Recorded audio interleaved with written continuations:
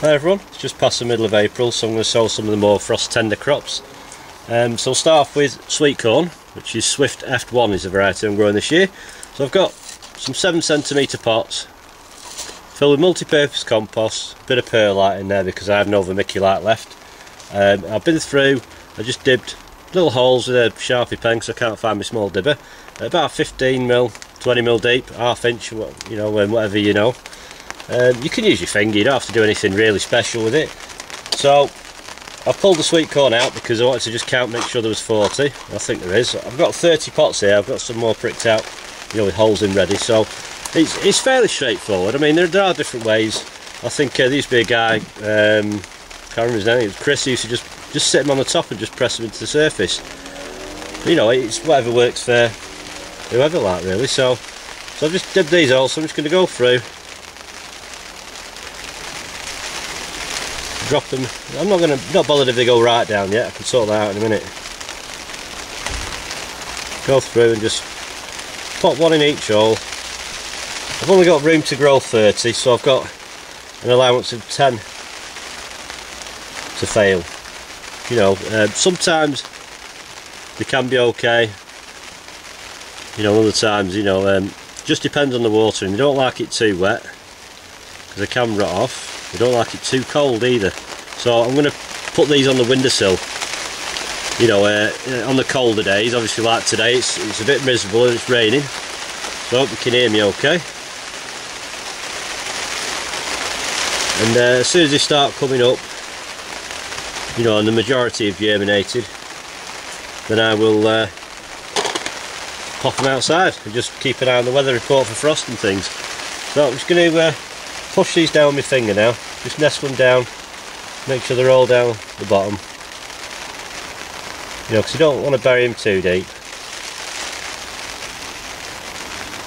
Know this compost isn't I've not watered it but it isn't dry. You know the seeds have been out here for a while. Compost has so everything's similar temperature so there's nothing to shock anything as such. You can pre-soak your sweet corn if you want to let it swell, but I won't do it overnight. Um, it's a, it can be a, bit, a little bit too long. So just a few hours is usually good enough. So that's all popped in there, so just going to go through now. Just cover them over.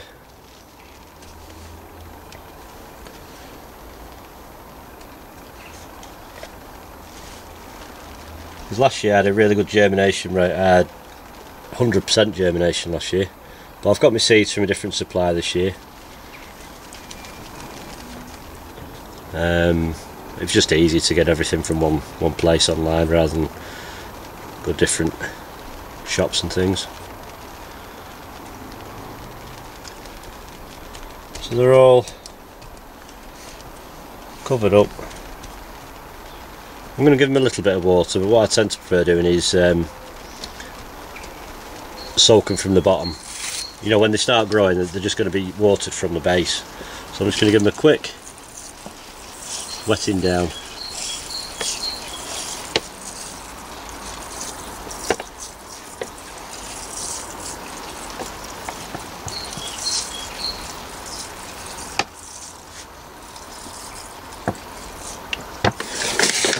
And uh, then another very quick going over.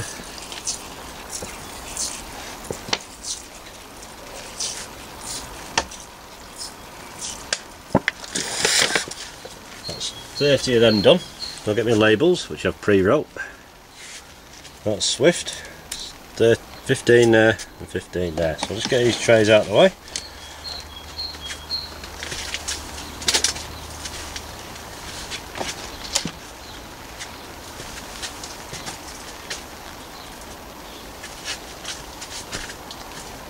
Just sell this tray. I think there's 10 left.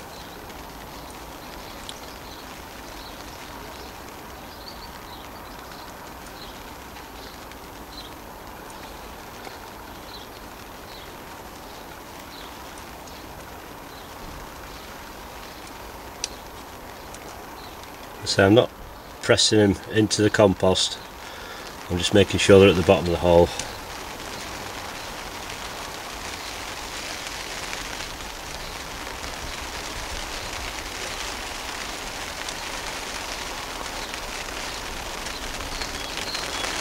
Should give them a label pointed that way.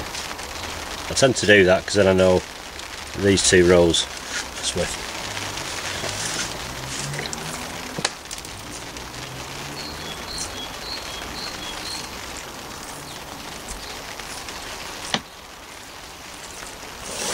Right, so that's the sweet corn done.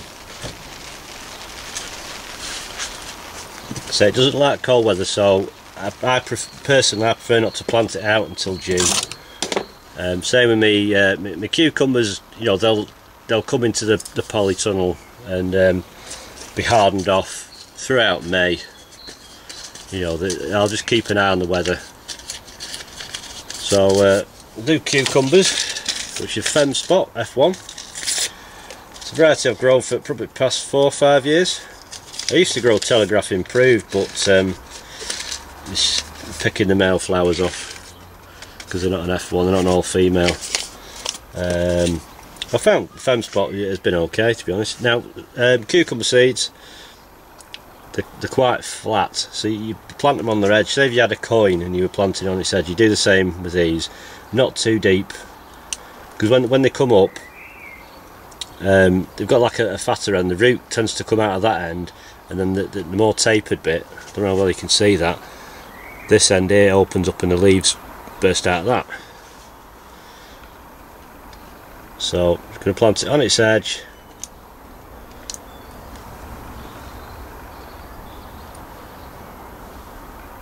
you know because uh, you can go back along and just nestle them in a bit more if you need to like I say not not too deep.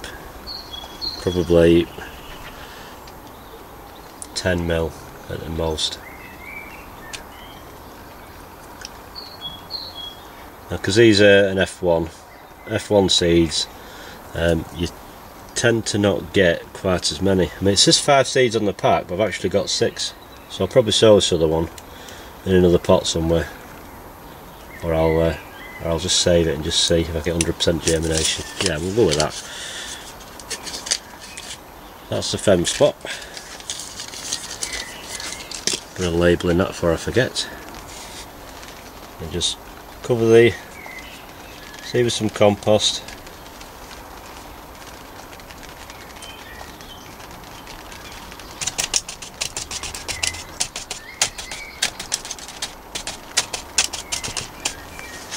Give them a drink. Same again with the uh, cucumbers, once they're up they'll be bottom watered because um, they are quite prone to rotting off at the necks.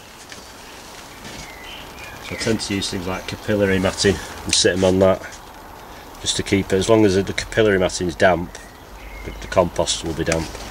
So that's uh, them done.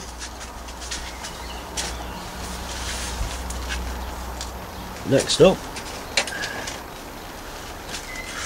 Six more pots. We are going to do courgettes. I'm not a big fan of courgettes but last year I managed to eat quite a few because I used a lot of my tomatoes. So uh, these are last year's seeds. I've got five left. So I'll ditch one of these pots out. I'll just put there an empty one in its space just so the pots don't topple over by accident. So the variety is called Easy Pick Green. I used to grow Defender and Zucchini and um, all green bush. I used to get some right massive ones, you know, if you because they do. If you don't spot them, you can go back a week after and they'll they'll be enormous. But I found with these Easy Pick, they tend to um, not get as big. So I'll say them again. They're an F1. So it's same as a, a cucumber, on its edge. Probably these just a little bit deeper. As long as the top of the seed is probably about 10 mil below the surface.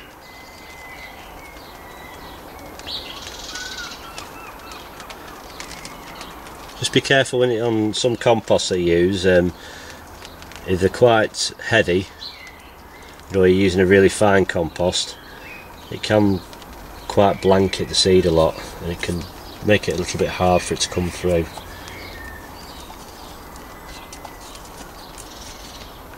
So you just go over them. Cover all them up.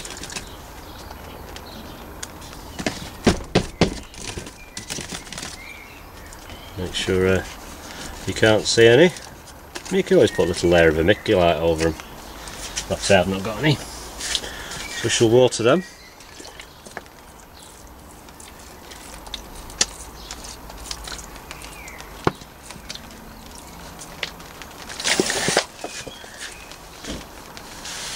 And put a label in them. So everything's going to have lids put on them. Uh, it's all going to go indoors until they germinate, and then on the on the days when it's bright and sunny, they'll come out. And then um, if it's a cool night, they'll go back in. But if it's a warm night, they'll stay out. So that's uh, the sweet corn, cucumbers and courgettes for the 2017. All done. Right, thanks for watching. Take care and I'll see you next time. Bye bye.